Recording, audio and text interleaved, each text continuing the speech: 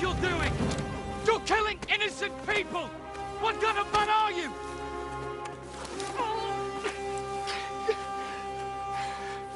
Marius! You're the night watchman? There's no time for this. I know who's trying to kill the sheriff.